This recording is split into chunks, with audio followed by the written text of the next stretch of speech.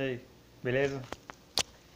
Fazendo esse vídeo para compartilhar aqui uma, uma música, é um poema que eu fiz, só que no intuito de ser uma música evangélica. E é o seguinte, é, hoje acordei magoado, querendo desistir da vida, ninguém estava do meu lado e no peito tinha uma ferida. Então eu gritei ao Senhor: Por que que me esqueceu? Por que que me abandonou? Será que não sou filho teu? Mas Deus é Pai, Ele é bom e veio em minha direção e perguntou: Meu filho, por que tanta aflição? Fui eu quem morreu na cruz somente para te salvar. Tenha paciência, filho, sua vitória vai chegar.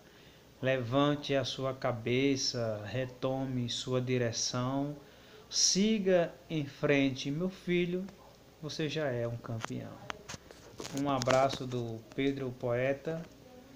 Fiquem com Deus, valeu.